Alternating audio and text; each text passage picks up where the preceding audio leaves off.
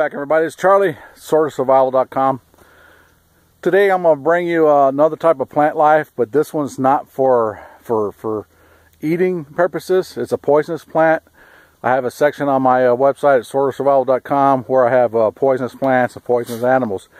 And I want to add this plant uh, to that uh, uh, list on my website because it's very poisonous. It's very accessible to small kids and animals, and it's found all over the uh, Chihuahuan Desert and as well as the Sonoran Desert.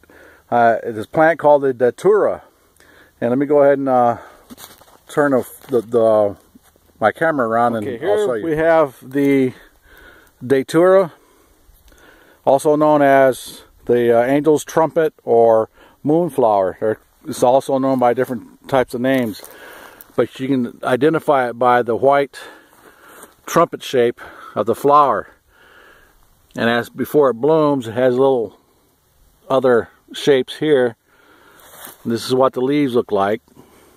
It's found all over the place in your yard, along roadsides, uh, in uh, drainage ditches, arroyos, uh, uh, places where the ground has been disturbed, like dirt roads, uh, places that have been freshly graded. But there is nothing on this plant that is uh, edible by humans. It is all very poisonous. It ha has a very a hallucinogenic effect to it. Uh, once you ingest it, it's hard. Uh, you know, it's been reported that uh, you can't tell uh, reality from uh, the unreal. your eyes become very, very dilated, which causes you to have very, very uh, pain in your eyes from from the from uh, the light.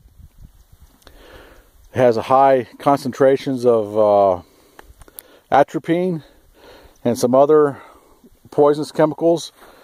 Uh, the only way to get treatment for this is to go get to the hospital. Uh, they they give you an a, a injection of a medication that counteracts the effects, and also they pump your stomach with a activated charcoal. If you're in a desert uh, survival mode and you accidentally or somebody accidentally uh, ingest this plant because there there is a uh, a survival edibility test they tell you to use if you don't know if a plant is edible or not uh, to put some on your skin and if it doesn't react then put some in your mouth.